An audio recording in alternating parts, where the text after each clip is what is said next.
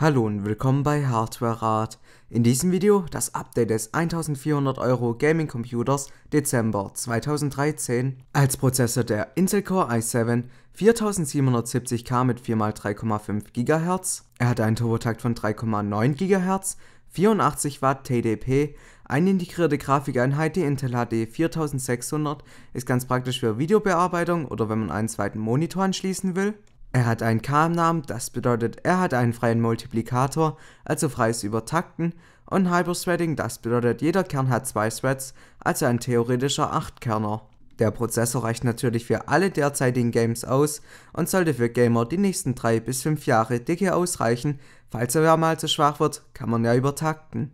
Als Kühler der Thermalright H02 Macho Revision A Black and White Edition es ist ein sehr großer Kühler zu einem spitzen Preis-Leistungs-Verhältnis und mit ihm ist leises Betreiben bzw. Übertakten möglich. Und als Mainboard das ASRock Z87 Extreme 3 mit dem Intel Z87 Chipsatz. Es hat USB 3, SATA 3, 4 DDR3 RAM-Bänke, PCI Express 3.0, ein 7.1 Soundchip und am I.O.-Panel zweimal USB 2, PS2, VGA, DVI und HDMI für die integrierte Grafikeinheit, viermal USB 3, eine LAN-Buchse und 5 3,5 mm Klinken sowie ein Tost-Link für den Soundchip. Dann als Arbeitsspeicher 8 GB Crucial Ballistic Sport, DDR3 1600 DIMM, CL9 Dual Kit, DDR3 1600 und CL9 ist recht schnell.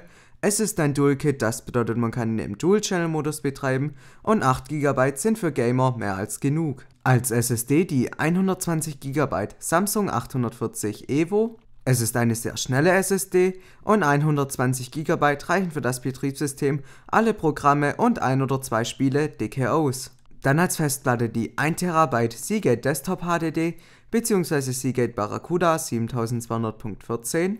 Es ist eine überdurchschnittlich schnelle HDD und 1 TB sollen für die meisten unter euch dicke ausreichen. Als Grafikkarte die 3 GB GB GeForce GTX 780 Ti es ist die zurzeit schnellste Single-GPU-Karte und damit sollte man alle Spiele auf den höchsten Einstellungen in Full HD flüssig spielen können. Und außerdem gibt's noch Batman Arkham Origins, Splinter Cells Blacklist und Assassin's Creed 4 Black Flag gratis dazu. Und als Netzteil das 480 Watt Be Quiet Straight Power E9. Es ist modular, das bedeutet man kann die Kabel abnehmen, die man nicht mehr braucht.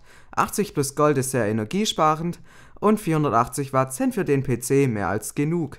Dann noch ein DVD-Brenner von Samsung. Und als Gehäuse das Sigmatech mit Guard 2. Es ist ein etwas schlichteres Gehäuse mit jede Menge Platz innen drin, aber natürlich dürft ihr selber entscheiden, welches Gehäuse ihr nehmen wollt. Dann bedanke ich mich fürs Zuschauen. Ich hoffe, das Video hat euch gefallen.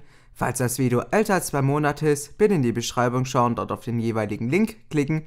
Dieser führt euch immer zur neuesten Version. Dann bis zum nächsten Video.